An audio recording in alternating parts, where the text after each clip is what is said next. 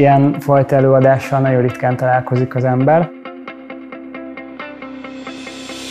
Modell tud építeni abból, hogy neked mire van szükséged, hogy elérd a céljaidat. Még sehol nem találkoztam olyan oktatással, ahol ekkora szabadságot kaptam volna, mint itt.